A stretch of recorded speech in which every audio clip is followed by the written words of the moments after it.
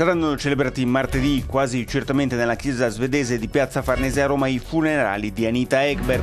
L'attrice morta domenica nella clinica fuori Roma in cui era ricoverata aveva 83 anni, simbolo entrato nella storia del cinema grazie al ruolo nella dolce vita accanto a Mastroianni, Ekberg sarà cremata. Le ceneri riposeranno a Malmo.